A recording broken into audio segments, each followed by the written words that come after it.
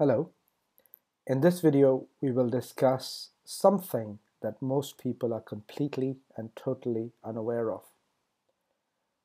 Rules have already been made and agreed to by G20 nations that includes Canada, USA, the United Kingdom, Australia, New Zealand, and much of Europe, and also Japan, that if there is ever another credit crisis or a situation where a bailout is required, instead of printing money, banks are allowed to simply bail in, which means they can confiscate your deposit if the situation demands.